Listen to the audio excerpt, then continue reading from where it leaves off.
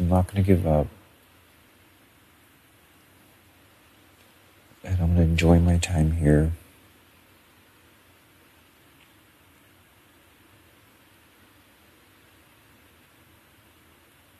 And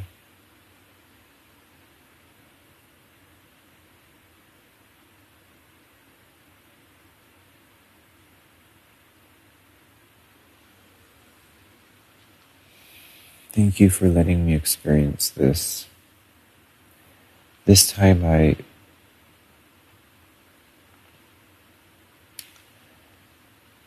I was I was completely vulnerable this time. Like I let America see who I really am. I really am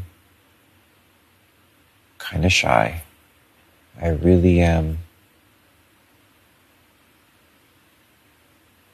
kind of a basic potato. I really am emotional. I've cried so many times this season. Um, I remember last time thinking, like, you know, no, hold it, you know. Also, too, last last last time I played, I had a way better scenario. But I figured, you know, let me be vulnerable and just, this is who I really am. Um,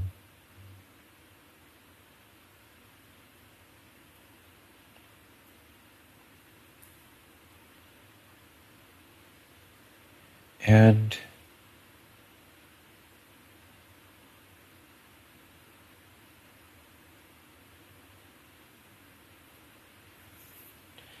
the competition has been great this season. Like,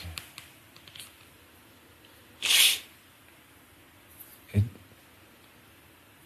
they these these I think in in it feels the regular season I would be doing a lot better, but wow the this is literally strong competition. Like it is really hard because these people are here for a reason, not because.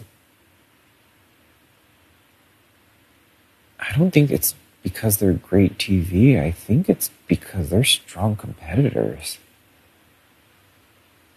Um,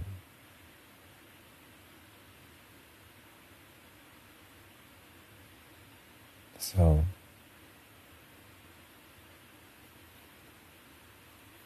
Holy moly, it's it's been a it really has been like an honor to play with such a caliber of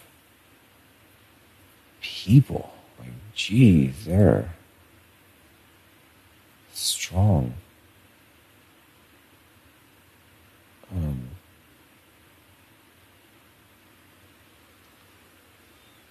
and to go out after the likes of Janelle, Kaysar, Nicole,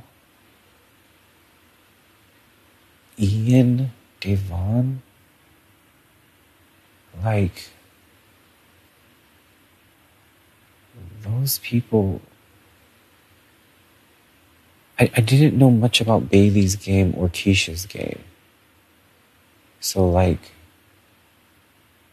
but but meeting Bailey, I realized, wow, she is super wicked smart and super sociable. So now I I get it. And, and unfortunately, Keesha, I didn't